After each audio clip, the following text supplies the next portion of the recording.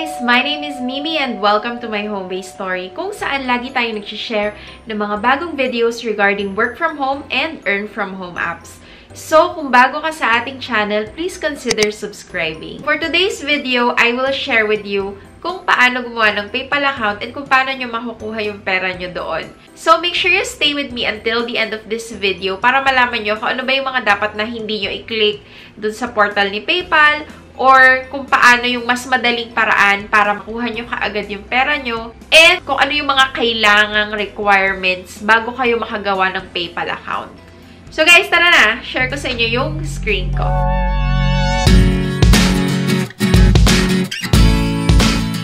So guys, ang una nyo kailangan gawin is, is go to their website using your browser. It's paypal.com and makikita nyo tong page na to.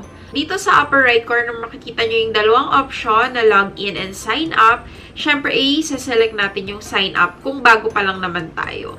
Bibigyan niya tayo ng dalawang option, buy with PayPal and receive payments with PayPal. Ito marami ditong natatrap kasi ang dapat nyo talagang i-select is itong buy with PayPal, guys. Tapos, click mo lang yung next. And then, you will see this page and makikita nyo dyan yung form. So, just lagay nyo lang dyan yung um, details ninyo. And then, click natin yung next. Okay. Sabi niya, welcome Mimi, let's create your account now. So, lagay nyo lang dito ang inyong date of birth. Ayan. Nationality, Philippines. Um, and then, papipiliin niya kayo ng inyong ID for verification. Ganito talaga guys, yung mga e-wallets or yung mga account na ginagawa natin online na related sa money na pinaglalagyan natin ng funds natin. It's normal for them to ask for our ID for verification. Inyong driver's license, UMID, SSS ID. Ayan, so kailangan nyo, ID na pipiliin nyo is may pangalan, may pangalan nyo na yung ginamit nyo sa PayPal nyo. So make sure you don't use aliases. Make sure you use your real name dun sa ID and sa mga lahat ng documents nyo kung ano yung binigay sa inyo ng nanay nyo or ng parents nyo nung pinanganak kayo, yun yung ilalagay nyo sa PayPal. Kung yun din naman yung ginagamit nyo sa inyong mga bank account, sa inyong mga online transactions. So, um, dapat yun yung gagamitin nyo na first and last name. So, ayan. So, pwede nyo gamitin si driver's license, national ID, and passport. Ang kailangan lang dito, dapat may picture yung ID nyo, dapat may ID number siya, dapat may address. Ayan. And, um, I think that's it. Yon. May date of birth. Ayan. So, pwede nating piliin yung um, national ID and yung ID number. So, lagay nyo lang dyan. Tapos, ilagay nyo yung address doon sa ID nyo. Um, fill up everything and click on agree and create account. Ang next nyo nang makikita is itong security challenge. So, click nyo lang na I'm not a robot. Ayan. Tapos, magpapadala si PayPal ng email sa inyong email address na ginamit to confirm your email address. So, click nyo lang yung click to activate account. Tapos, enter nyo lang yung password nyo to confirm. Pwede nyo rin i-add yung inyong mobile number. So, click natin yung not now. Ayan. And then, makikita nyo na itong inyong dashboard. So, once na nagawa nyo na to guys, and na-confirm nyo na yung account nyo, pwede na kayong makareceive ng payment sa inyong PayPal. So, papasok na yan dyan.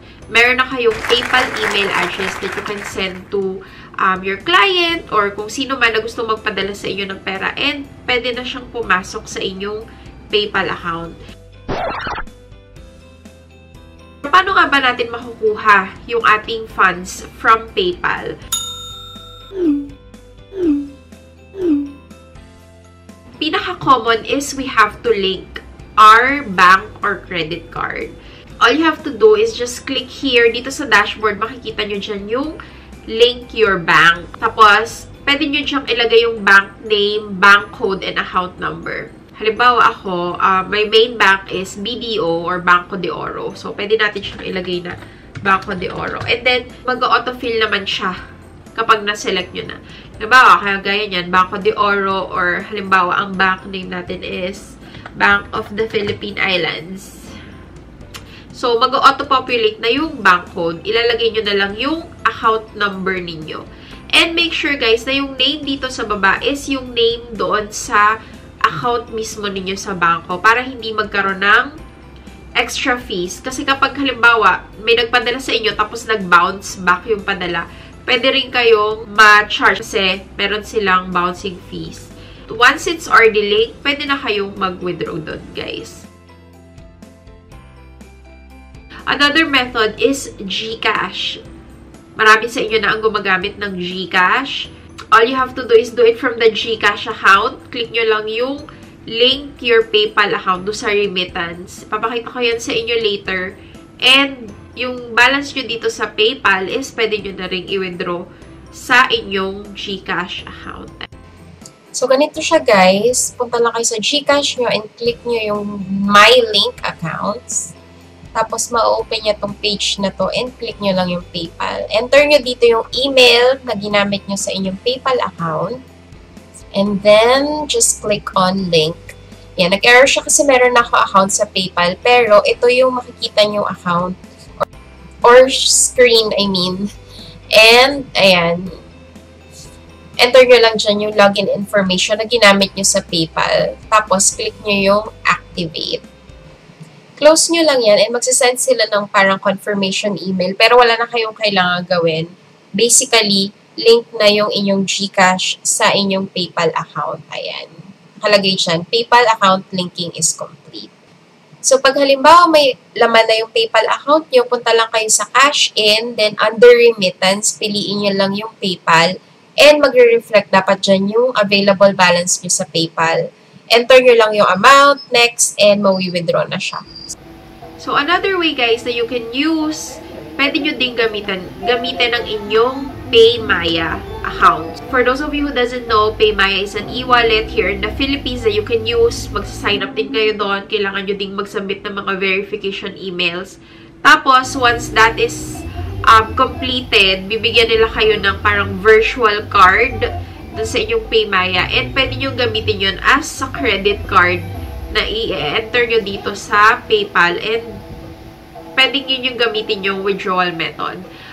Ayun! So guys, that's just how easy it is to create a PayPal account and use it as your mode of payment for your online transaction. So, hindi lang for work at home to, pwede mo din siya gamitin pang shopping or pwede mo rin gamitin yan to receive any form of payment. So, importante talaga na at least meron kang PayPal account. So guys, I wanted to take this opportunity to thank everyone who has already subscribed to our channel.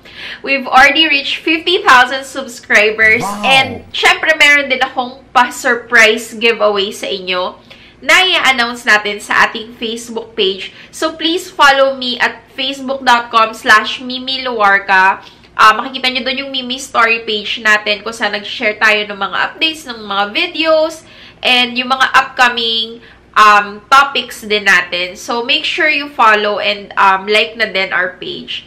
Thank you guys again for watching. I really appreciate it. And I will see you again on our next video. Bye! If you're interested in working from home, don't forget to click the subscribe button and hit the notification bell button so that you're updated whenever I upload a new video.